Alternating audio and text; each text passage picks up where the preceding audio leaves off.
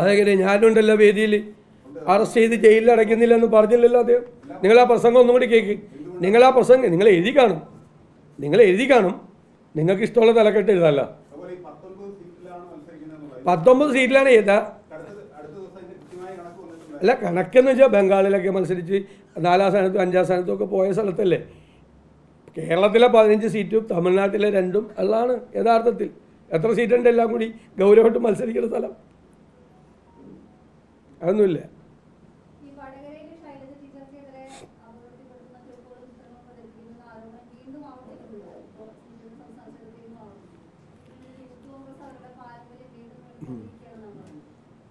അതായത് ഞാൻ പറഞ്ഞല്ലോ പാനൂര് ഞങ്ങളെ എറിയാൻ ഇരുപത്താറാം തീയതി വെച്ചിരുന്ന ബോംബ്.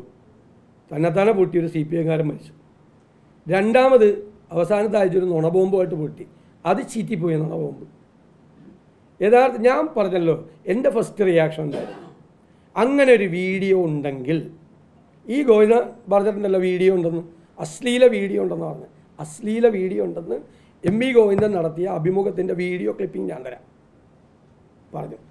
അപ്പോൾ ഞാൻ പറഞ്ഞു അങ്ങനെ ഒരു വീഡിയോ ഉണ്ടെങ്കിൽ ഏതെങ്കിലും കോൺഗ്രസ്സുകാരനോ യു ഡി എഫുകാരനോ അതിന്റെ പുറകിലുണ്ടെന്ന് പറഞ്ഞാൽ ഞാൻ ഗ്യാരണ്ടി നടപടി എടുക്കാമെന്ന് പക്ഷേ ഞാൻ കണ്ടിട്ടില്ല ഈ വീഡിയോ മാധ്യമപ്രവർത്തകരായ നിങ്ങളാരും കണ്ടിട്ടില്ല ഈ മീഡിയ. ഞാൻ പോലീസിനെ വിളിച്ചു ചോദിച്ചു. പോലീസിന്റെ കയ്യിലുണ്ടോ എന്ന് ചോദിച്ചു. അവരൊരു പോലീസിന് തന്ന പരാതിയിൽ ഈ വീഡിയോ ക്ലിപ്പിംഗ് ഇല്ല എന്ന് ഇല്ല എന്ന് പറഞ്ഞു. അപ്പോൾ നിങ്ങൾ ചോദിച്ചു. അവരോട് ചോദിച്ചപ്പോൾ അവർ പറഞ്ഞു വീഡിയോ ഒന്നും ഞാൻ പറഞ്ഞിട്ടില്ല എന്ന് പറഞ്ഞു. അവർ കൊടുത്ത പരാതിയിലുണ്ടല്ലോ. ഞാൻ ഇന്നലെ പരാതി മലപ്പുറത്ത് പത്രസമ്മേളനത്തിൽ പോലീസ് കൊടുത്ത പരാതിയിലെ എട്ടാമത്തെ ഒമ്പതാമത്തെ പോയിന്റിൽ വീഡിയോ ക്ലിപ്പിംഗ് അവർക്കെതിരായിട്ട് പ്രചരിക്കുന്നു പറഞ്ഞിട്ടുണ്ട്. ഏത് അശ്ലീല വീഡിയോ ആണ്? ഏത് അശ്ലീല പോസ്റ്ററാണ് അല്ല വീഡിയോ ക്ലിപ്പിംഗ് എന്നുണ്ട്. സംസാരിച്ചപ്പോൾ അത് പരാതിയിൽ സംസാരിച്ചപ്പോൾ അശ്ലീല വീഡിയോ പ്രചരിക്കുന്നു എന്ന് പറഞ്ഞില്ലേ? അല്ല അവർ ആദ്യം പറഞ്ഞു ആദ്യം പറഞ്ഞു രണ്ടാമത് അശ്ലീല പോസ്റ്റർ എന്ന് പറഞ്ഞു. അല്ലല്ല ഞാൻ പറഞ്ഞോട്ടെ ഞാൻ പറഞ്ഞോട്ടെ. എന്നിട്ട് എവിടെ? അശ്ലീല പോസ്റ്റർ എവിടെ? നിങ്ങളാരെങ്കിലും കണ്ടോ? നിങ്ങളാരെങ്കിലും കണ്ടോ?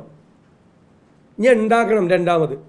അതെ പണ്ട് ഈ കോവിഡ് കാലത്തെ പി ആർ ഏജൻസി ഉണ്ട്. അവർക്ക് വേണ്ടി പ്രവർത്തിച്ചു. അവരിപ്പോൾ അവിടെ വന്നിട്ടുണ്ട്. അവരുണ്ടാക്കി വെച്ചതാണിത്. അന്ന് ഇതുപോലെ പറഞ്ഞു.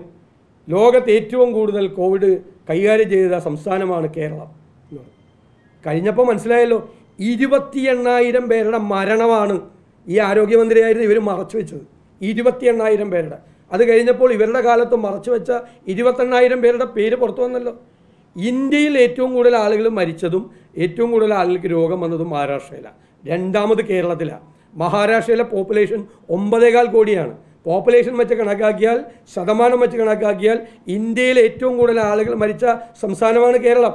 ഏറ്റവും കൂടുതൽ ആളുകൾക്ക് രോഗം വന്ന സ്ഥലമാണ് കേരളം. നിപ്പ ബാധിച്ചിട്ട് ഏറ്റവും കൂടുതൽ പെർസെന്റേജ് ആളുകൾ മരിച്ച സംസ്ഥാനമാണ് കേരളം. ഇവർ ഈ പി ആർ ഏജൻസിയെ വെച്ച് ഈ ക്യാമ്പയിനായിരുന്നു അവാർഡ് മേടിക്കലും മാധ്യമങ്ങളിൽ എഴുതലും മുഖ്യധാര മാധ്യമങ്ങളെ ട്രാപ്പിൽ പെടുത്തുകയും ചെയ്യായിരുന്നു. ആ പി ആർ ഏജൻസിയും കൊണ്ട് വന്നിരിക്കുകയാണ് തെരഞ്ഞെടുപ്പിൽ. ഞങ്ങളെ അപകീർത്തിപ്പെടുത്താൻ ഞങ്ങളുടെ സ്ഥാനാർത്ഥിയെ അപകീർത്തിപ്പെടുത്താൻ. എന്നിട്ട് ഞങ്ങൾക്ക് നേരെ സൈബർ ആക്രമണം അതൊന്നും നടക്കില്ല.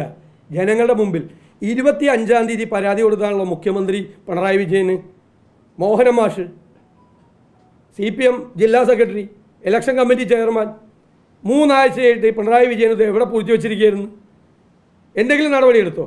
എന്നിട്ട് ഇലക്ഷന്റെ അവസാനത്തെ ആഴ്ച ഇപ്പോൾ ഇറങ്ങിയിരിക്കുകയാണ് വീണ്ടും. അതൊക്കെ കയ്യിൽ വെച്ചാൽ മതി. അടുത്ത് അതൊന്നും ചിലവാവില്ല. ഇതുപോലെ തൃക്കാക്കരയിൽ അവസാനത്തെ ആഴ്ച ഒരു അശ്ലീല വീഡിയോ ഇറങ്ങി. ഇറങ്ങി ശരിക്കും. ഇതില്ല ഇതുപോലെ ഇല്ലാത്ത വീഡിയോ അല്ല. ഒരെണ്ണം ഇറങ്ങി. അതുപോലെ ഞാനാണ് ഉണ്ടാക്കിയെന്ന് പറഞ്ഞു. കേരളത്തിലെ പ്രതിപക്ഷ നേതാവിന് വീഡിയോ ഉണ്ടാക്കലല്ലേ ജോലി? ആ വീഡിയോ ഉണ്ടാക്കിയവനെ ഇതുവരെ അറസ്റ്റ് ചെയ്താ. സ്വന്തം സ്ഥാനാർത്ഥിക്കെതിരായി വീഡിയോ ഉണ്ടാക്കിയവനെ അറസ്റ്റ് ചെയ്തോ? കേസെടുത്തു ആർക്കെങ്കിലും എതിരായിട്ട്? അത് പച്ചക്കള്ള അവസാനത്തെ ആഴ്ച. സ്വന്തം പാർട്ടി ഓഫീസിൽ ജില്ലാ കമ്മിറ്റി ഓഫീസിൽ ജില്ലാ സെക്രട്ടറി കടക്കട കട്ടിലിന്റെ അടിയിൽ കൊണ്ട് ക്യാമറ വെച്ചവന്മാരാണ്. എന്തും ചെയ്യാൻ പഠിക്കാത്തവരാണ് ഇനി ഈ പി ആർ ഏജൻസി പുതിയ പോസ്റ്റ് അശ്ലീല പോസ്റ്ററും അശ്ലീല വീഡിയോ ഇനി പുതിയതുണ്ടാക്കണം അവരുണ്ടാക്കിയിട്ട് വേണം. ഇതുവരെ ഇല്ല. നിങ്ങളാരും കണ്ടില്ലല്ലോ. നിങ്ങൾ ആരെങ്കിലും കണ്ടിട്ടുണ്ടോ? ഇങ്ങനത്തെ ഒരു അശ്ലീല പോസ്റ്ററോ അശ്ലീല വീഡിയോയോ? പിന്നെ പറഞ്ഞ് ഞാൻ കേന്ദ്ര കമ്മിറ്റി അംഗമാണ് എം എൽ എ ആണ് പ്രധാനപ്പെട്ട നേതാവാണ്. എനിക്കെതിരെ മാന്യമായി പ്രചരണം നടത്തണം. അവർക്കെതിരായിട്ട് ഞങ്ങൾ അഴിമതി ആരോപണം ഉന്നയിച്ചിട്ടുണ്ട്. അവർ അഴിമതി കേസിൽ ഒന്നാം പ്രതിയാണ്. നാനൂറ്റി അമ്പത് രൂപയ്ക്ക് തിരുവനന്തപുരത്ത് പി പി കിറ്റ് കിട്ടിയ ദിവസം കിട്ടിയ ദിവസം മൂന്ന് കമ്പനികളിൽ നിന്ന് നാനൂറ്റമ്പത് നാനൂറ്റി എഴുപത്തിരണ്ട് നാനൂറ്റി എൺപത്തിരണ്ട് രൂപയ്ക്ക് പി പി കിറ്റ് കിട്ടിയ അതേ ദിവസം ഇവർ ബോംബെയിലെ സാൻഫാർമ കമ്പനിയിൽ നിന്ന് ആയിരത്തഞ്ഞൂറ്റമ്പത് രൂപയ്ക്ക് പതിനായിരക്കണക്കിന് പി പി കിറ്റ് വാങ്ങിച്ച ആളാണ് കോടതി പോയപ്പോൾ ഹൈക്കോടതി പറയും പോയി കേസ് അന്വേഷണം. ആ അഴിമതി ആരോപണമൊക്കെ ഞങ്ങൾ ഉന്നയിക്കും. അവരൊന്നാം പ്രതിയാണ് അവരൊന്നാം പ്രതി കംപ്ലീറ്റ് തെളിവ് ഞങ്ങളുടെ കയ്യിലുണ്ട്. ഇതെല്ലാം മറച്ചു വെച്ചിട്ട് പി ആർ ക്യാമ്പയിനായിരുന്നു ഇപ്പോൾ ഏതായാലും അതൊക്കെ പറയാൻ പറ്റില്ല ഞങ്ങൾക്ക്. ഇത് കാരണം. അല്ല കേസ് ഇപ്പോൾ ഈ എറണാകുളത്ത് വീഡിയോ പ്രചരിപ്പിച്ചപ്പോൾ കേസ് എടുത്തു. ആരോ ഫോർവേഡ് ചെയ്തെന്ന് പറഞ്ഞു. ആ ഇപ്പം ഈ ഈ അശ്ലീല വീഡിയോയോ അശ്ലീല പോസ്റ്ററോ എന്റെ പേരിലാണോ ആ കേസ് എടുത്തിരിക്കുന്നത് അങ്ങനെ ഒരു സാധനം ഇല്ലല്ലോ. അപ്പോൾ വേറെ ഏതോ കാര്യമൊക്കെ പറഞ്ഞ് കേസെടുക്കുക. മോഡിയുടെ സൽപ്പേരിന് കളങ്കം ചാർത്തി എന്ന് പറഞ്ഞ് കേസ് എടുക്കാമെങ്കിൽ പിന്നെ ഏത് കാര്യത്തിലാണ് കേസെടുക്കാൻ പറ്റുക? അതായത് ഞങ്ങളെല്ലാം സി പി എംകാരും കോൺഗ്രസ്സുകാരും എല്ലാവരും പറയുന്ന കാര്യമാണ് ഇലക്ട്രൽ ബോണ്ടിന്റെ കാര്യത്തിൽ ബി ജെ പി അഴിമതി നടത്തിയത്. അതിട്ട അത് ആ പോസ്റ്റ് ഇട്ട പയ്യന്റെ പേരിൽ മോഡിയുടെ സൽപ്പേരിന് കളങ്കം ചാർത്തിയെന്ന് പറഞ്ഞ് കേസെടുത്ത പോലീസാണ് ഇതൊരു സ്ഥിതിയാണ്. പത്തു കൊല്ലമായി മുഖ്യമന്ത്രി പറഞ്ഞതല്ല പത്തു കൊല്ലമായി നരേന്ദ്രമോദിയും ബി ജെ പിയും രാഹുൽ ഗാന്ധിയെ അപകീർത്തിപ്പെടുത്താൻ പറയുന്ന അതേ വാചകങ്ങൾ പിണറായി വിജയനും സി പി എമ്മും ഏറ്റെടുത്തിരിക്കുകയാണ്. അതല്ലേ നടക്കുന്നത്? അദ്ദേഹം ബി ജെ പിയെ സന്തോഷിപ്പിക്കാൻ വേണ്ടിയിട്ടാണ്. ബി ജെ പിക്ക് ഏറ്റവും സന്തോഷം കിട്ടുന്ന കാര്യം എന്താ? രാഹുൽ ഗാന്ധിയെ ചീത്ത വിളിക്കുമ്പോഴാണ് രാഹുൽ പ്രധാനമന്ത്രി ഉടനെ പ്രതികരിച്ചല്ലോ. ഞാൻ പോലും പറയാത്ത കടുത്ത ഭാഷയിലാണ് മുഖ്യമന്ത്രി പിണറായി വിജയൻ രാഹുൽ ഗാന്ധിയെ വിമർശിച്ചതെന്ന്. എന്തൊരു സന്തോഷമായിരുന്നു മോഡിക്ക് മോഡിയെ സന്തോഷിപ്പിക്കാൻ വേണ്ടിയാണ് അതിനാണ് ഞാൻ പറഞ്ഞത് ഇദ്ദേഹം കസവ് കെട്ടിയ പേടിത്തൊണ്ടനാണെന്ന് പറഞ്ഞു മുഖ്യമന്ത്രി. അതായത് കൊമ്പത്തെ ആളാണ് പക്ഷെ പേടിയാണ്. അതാണ് കസവ് കെട്ടിയ പേടിത്തൊണ്ടൻ എന്നതിന്റെ അർത്ഥം. വലിയ ആളാണ് പക്ഷെ പേടിയാണ്. മോഡിയെ പേടിച്ചാണ് ജീവിക്കുന്നത്. ഭയമാണ് അദ്ദേഹത്തെ ഭരിക്കുന്നത്. അതാണ് അതിനുള്ള മറുപടി. രാഹുൽ ഗാന്ധിയെ വിളിച്ചതിനുള്ള മറുപടി അതാണ്. അതവിടെ രജിസ്റ്ററായിട്ട് കിടക്കട്ടെ.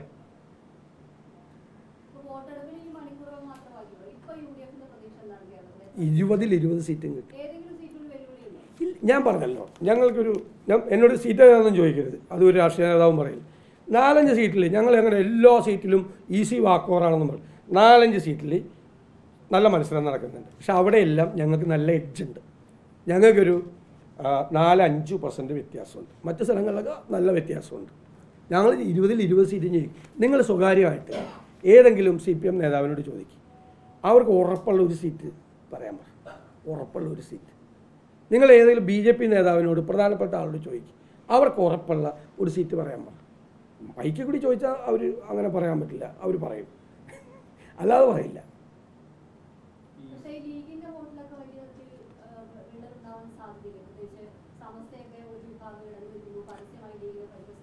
ഒരു കുഴപ്പമുണ്ടാവില്ല.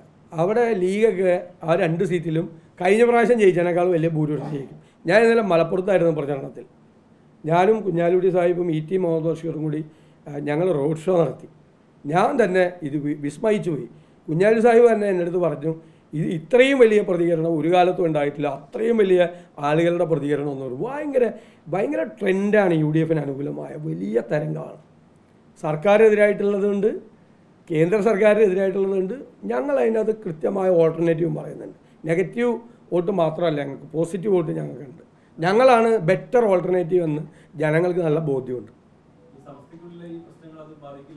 അതൊന്നും തെരഞ്ഞെടുപ്പിനൊന്നും ബാധിക്കില്ല. അതൊക്കെ സംഘടനാപരമായ കാര്യങ്ങളാണ്.